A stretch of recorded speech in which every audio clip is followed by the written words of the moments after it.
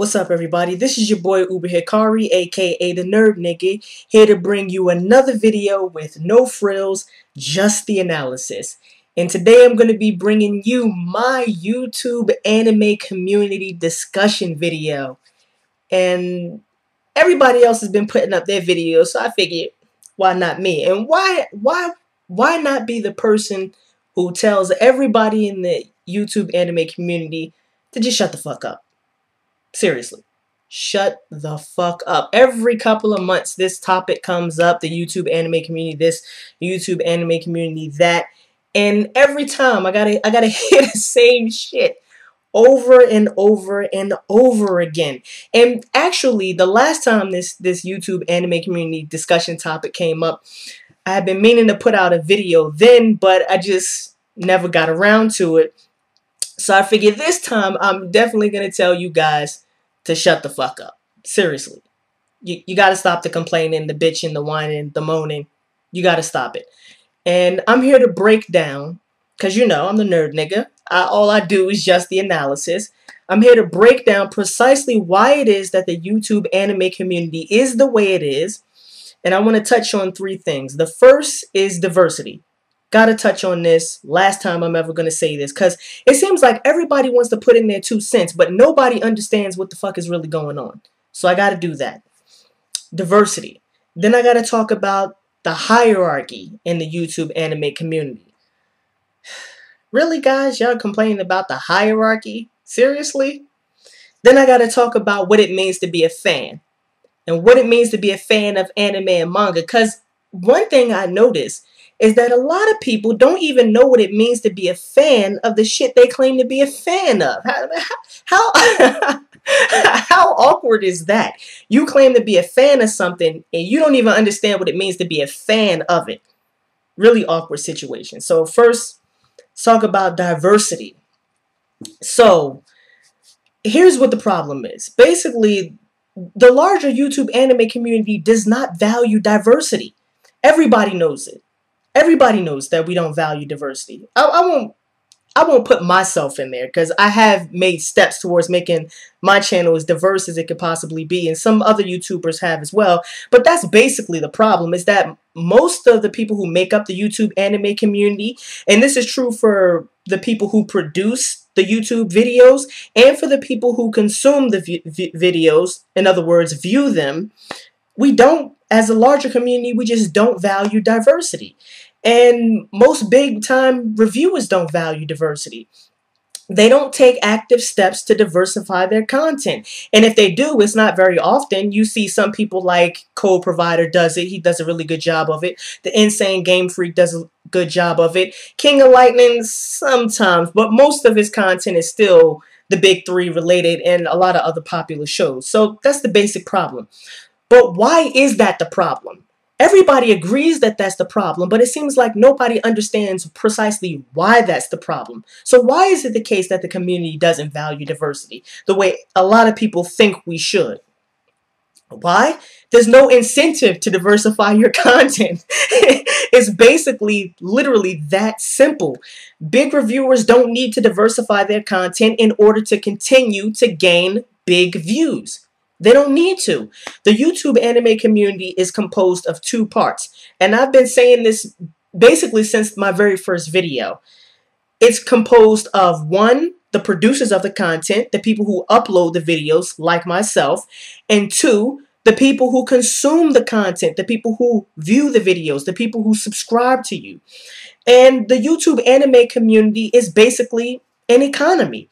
And I don't mean an economy in the sense that it's about money or finances, although that's a part of it. I mean it's a it's an economy in the most basic way possible, which is simply that the YouTube anime community is made up of the basic laws of supply and demand.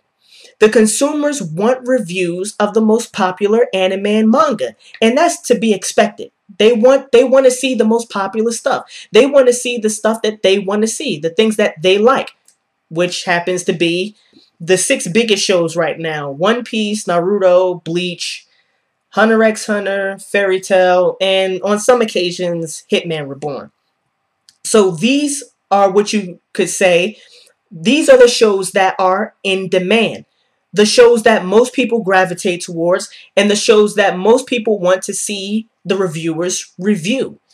And what happens is people think that if they review these shows that are in such high demand, they'll get big time views. And this pretty much happens all the time. The community is now oversaturated with people who review nothing but Bleach, Naruto, One Piece, Fairy Tail, Hitman Reborn, and Hunter x Hunter. So literally, there is no incentive to diversify your content. What does this mean? This means that it's not profitable to diversify your content. And by profitable, I mean you won't get subs, or it's not that you won't get subs, but you're not as likely to get as many subs as people who review popular stuff if you decide not to review those things. You won't get as many views, and what's important to a lot of people is you won't get any money from it. It's literally not worth it to take your time and to review something that you know will only get you maybe 100, 200 views when you can take the same amount of time and review something that'll get you two or 3,000 views. Simple. Simple laws of supply and demand. Now, is this a bad thing? And most people in the community tend to agree that this is a bad thing. I also think this is a bad thing. But, and, and basically here's why. It's a bad thing because it creates a conformist community. It makes it so that everybody will copy everybody else. I mean, just go to YouTube and type in Naruto chapter reviews. And you'll see 50, 100, 200 people all reviewing the same stuff. On the other hand, type in Yu Yu Hakusho. Nobody's reviewing that. And if they are, then maybe you know, one, two people here and here you might see a couple discussion videos about it, but not really. Look up um, some seinen stuff. Berserk, even Berserk, which is insanely popular. There's not even a lot of people reviewing that. Vagabond, Vinland Saga. Nope. What do you see? Naruto chapter reviews. Literally hundreds of them. It's the community is oversaturated with them. And what happens? We become a conformist community. And as a result, there's no creativity, only blind followers. And what happens when you have a bunch of people reviewing the same thing, all vying for the same number of views? You get a crab in the bucket mentality. So when JP Mixia starts complaining about how, oh, nobody wants to help anybody else and, and nobody else wants to, to talk about some of the other people who are on the fringes, it's a crabs in the bucket mentality. What do you expect? You're in competition with the other person. They're not going to try and bring you up. The, the, name of the game is to eliminate, I mean, if you really want to think about it in the economic sense, the name of the game is to eliminate the competition. That's the name of the game. The name of the game is not to help this other person. It's to make, it's to build yourself up. And this creates basically a snowball effect. The more popular a show is, the higher demand there will be for that show. The higher demand there is for a show, the more people who are going to want to review it to capitalize on its on its popularity.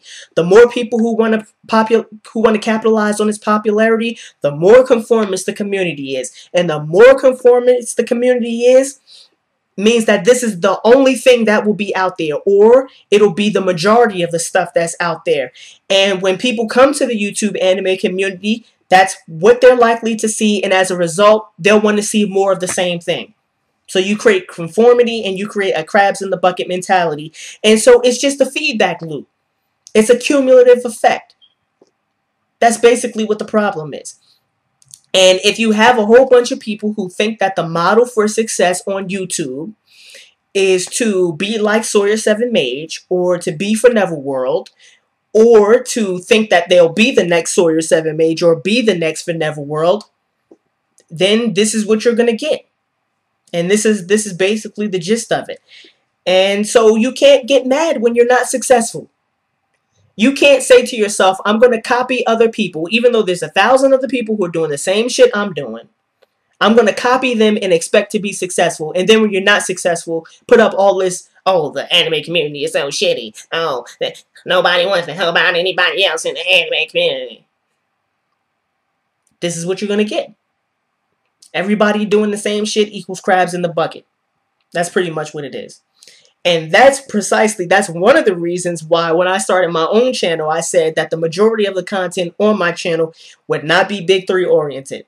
It has nothing to do with not liking the big 3, not reading the big 3, not watching the big 3 is that I don't want to be a part of that crabs in the bucket mentality doing the same exact thing that the person next to me is doing. Didn't want to go through that. And so, what the popular people need to do, if they want to change the community, is they need to diversify their content to make space, to make it possible for other types of channels to exist. And this was one thing that I never I never understood. What's the point? And right now I'm directly calling out Sawyer 7 Mage, even though he's got me boxed, and even though that's my homie, gotta call you out. What's the point of having 10, 20, 30,000 subscribers and you review One Piece and Naruto? You have the power to influence a whole range of topics. And yet the only thing on your channel is One Piece and Naruto. Why is that? It can't, I mean, I hope it's not that, that One Piece and Naruto is the only thing you watch or read. I mean, that would be kind of tragic if that was the case. So I, I, I don't think it's that. And even if you didn't want to review different types of things on a regular basis, all you need to do is talk about one different show every month. That's all you need to do to create just a little bit of diversity. But most of the big channels won't do that. And another thing I notice is that ForNeverWorld, for example, when he first started out, he used to do a whole range of reviews. In fact, when he first started out, he, he had a video about why Shoujo was better than Shonen. And now, the only thing he's reviewing, Naruto, One Piece, Bleach, Hitman Reborn. Uh, I think he might be reviewing Fairy Tail too, but that's it. So, so you have to ask yourself the question: Why does a person who starts off with a diverse channel all of a sudden narrow their interests? Because it's more profitable to do it that way. That's the basic reason why. And it's not just ForNeverWorld. Most of the people in the YouTube anime community do it that way. And so it's always going to be harder for people who don't review the most popular stuff because the stuff they review won't be in demand. And another thing you can't do is you can't set out to not review the most popular stuff and then complain when you don't become successful on YouTube. Stop it. Seriously. You can't cry and you can't can't you can't have it both ways. You can't have your cake and eat it too. Now let's talk about the hierarchy within the YouTube anime community. A, a recent addition to a, a recent variation on this topic of the YouTube anime community. Very awkward. Is there a hierarchy in the YouTube anime community? Yes, but who gives a fuck? Who cares? There's always going to be a hierarchy. When you go out to buy a computer, the only people in the game are Microsoft, Microsoft and Apple, and there's some Linux machines. But who the fuck cares about Linux? I mean, uh, no offense if you you have a Linux machine, but those are the only name that's it. Those are the only names in the game. There's always going to be a hierarchy no matter what you do. So I don't understand this whole there's a hierarchy in the YouTube anime community and I'm I'm mad because I'm at the bottom of the hierarchy. Uh, who gives a shit if you're mad? the world doesn't conform to the way you want it to be. That's just that's just life. That's just facts. That's just the way it is. Oh, and why is there a hierarchy? And it's basically a hierarchy for the reasons that you would expect. Most people don't get to the top by being good reviewers. They get to the top by reviewing the most popular shit. And this is not the case 100% of the time, but the biggest factor that will determine your popularity is what you decide to review. Because if you decide to review the manga aphorism, most of you who are watching this video don't even know what the hell aphorism is. But if you decide to review aphorism, you ain't getting no views. On the other hand, if you decide to review Naruto, then it's much more likely, not guaranteed, but it's much more likely that if you do become successful, it will be because you decided to review Naruto rather than aphorism. That's just the way it is. Supply and demand. So it doesn't have anything to do with how hard you work, not whether people like you, not whether people like your videos, not whether or not you're a good reviewer. These things matter, but they don't matter as much as what you decide to review. That's just the way it is. And like I said, it's not the case for 100% of the people, like Giga, for example. It's not true in his case, but generally speaking, it's true. And so it's not a coincidence that ForNeverWorld and Sawyer Severin Mage have the biggest channels. Because if you look at the similarities between them, they're basically practically mirror images of each other. Practically mirror images of each other. And so it's not a coincidence that the most popular channels are big three oriented channels or tend to focus on Fairy Tail, Hunter x Hunter, or Hitman Reborn. Just that simple. Now I gotta address this fan nonsense. Because a lot of people just go off the deep end when they start talking about I'm a real fan and you're a fake fan and, and I support the industry and blah blah blah blah blah all that other bullshit and nonsense. First of all, let me just address this right quick. This true fan versus fake fan bullshit nonsense. There's no such thing as a true anime fan. I said this before, I'll say it again. There is no such thing as a true anime fan. You cannot give yourself brownie points because you consider yourself to be a true anime fan. Nobody gives a fuck. Personally, no, I mean it's just it's just the way nobody cares if you think you're a true anime fan. I mean, and, and if you think that you're a true anime fan, then ask yourself this. Are there people who are fake anime fans? Do you believe that? That you're a true anime fan and that there are these other people over there who are fake anime fans? Really? I mean, I seriously hope you don't believe that. That's number one. Number two, most people are not anime and manga fans anyway. I'm not an anime and manga fan. I've never described myself that way. Nobody has a, can ever say, "Hey, Uber Hikari, I heard you describe yourself that." No, you haven't. I've never claimed that. I am not an anime and manga fan, and I'll explain that. Most people are fans of most people, not all, but most people, a good majority of people are fans of a particular series. For example, they're Naruto fans, or they're One Piece fans, or they're Fairy Tail fans. Therefore, most people don't have a stake in diversity because they're not anime and manga fans to begin with. It's not that they're not true anime fans or that they're fake anime fans, it's that they're not anime and manga fans to begin with. What does it mean to be a fan of something? To be a fan of something means that you're an ardent admirer or devotee of something. That's what it means to be a fan. look it up in a dictionary. That's the definition that you'll get. And and this is something that most people do not understand when it comes to anime and manga. First of all, animation is a medium. Now, within a medium, you can it can branch off into modes, something that's called a mode. So you have American animation, that's a mode of animation. Or you can have Japanese animation. That's a mode of animation. That's all under the umbrella of animation. Japanese animation is known as anime. Der. Um, but within but within Japanese animation or anime is very interesting because within that mode of Japanese anime, there are certain demographic categories that do not exist in American animation. So a demographic category would be shonen, seinen, josei, um, what's the other one? Shoujo. Those are demographic categories. Now, some people like to claim that those are genres. I tend to disagree. They're not genres. There are some stylistic similarities between manga that all exist under the category shonen, but they're not genre similarities. They're, they tend to be stylistic similarities because they're targeted towards the same demographic. Now, within a demographic category like shonen, seinen, josei, shoujo, you have genres and subgenres or across.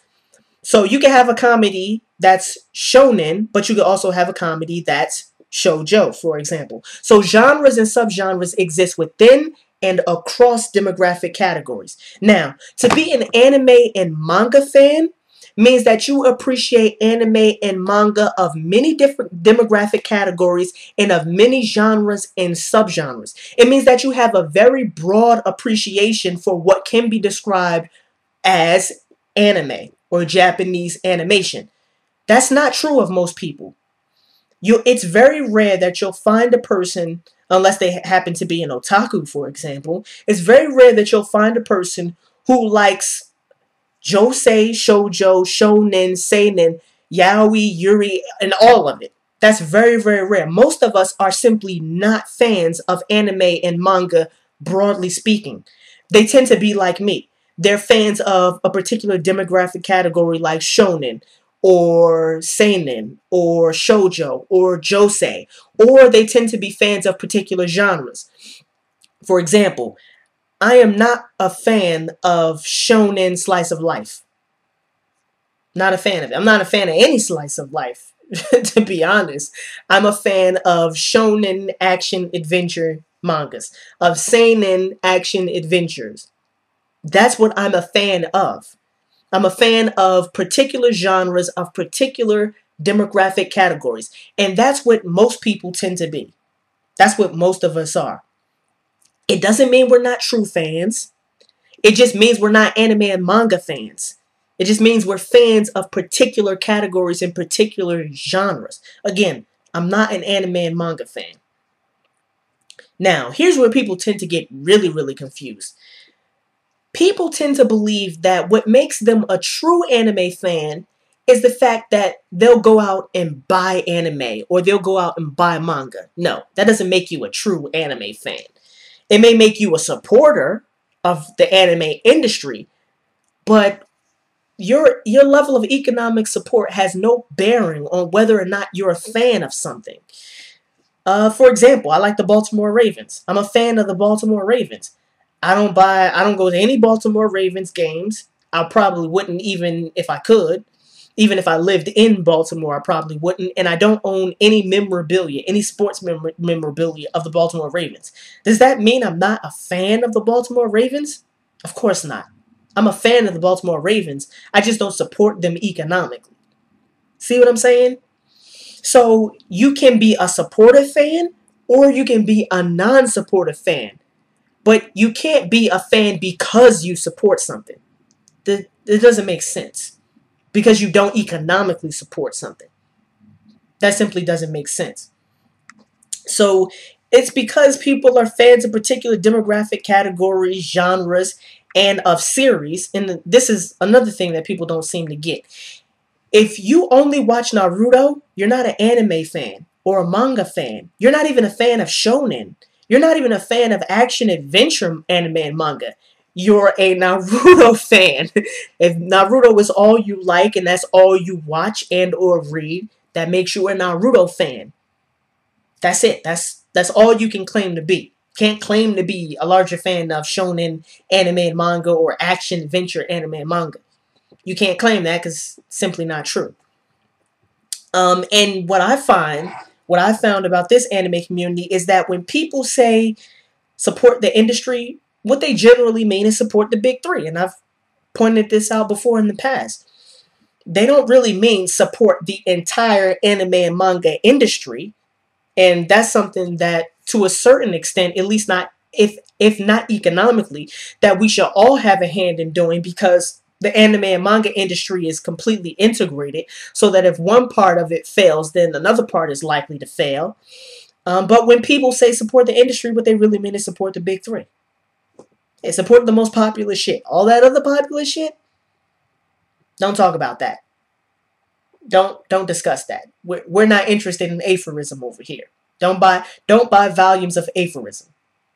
That's generally what people tend to mean. And and like I said, the major problem with the YouTube anime community is that it's there is a built-in deterrence for diversity because it's it's not pro- profitable.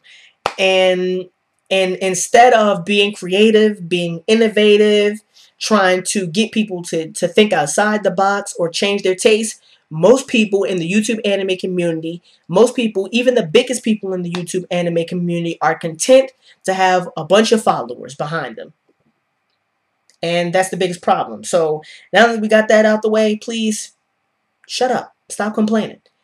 If you're not willing to put in the time and effort to make the kind of videos that you want to see in the YouTube anime community, shut up. You have no dog in the fight. You're just a complainer. And I personally don't want to hear that. So, this was your boy Uber Hikari, aka the Nerd Nigga. Just brought you another video with no frills, just the analysis. Peace and have a blessed day.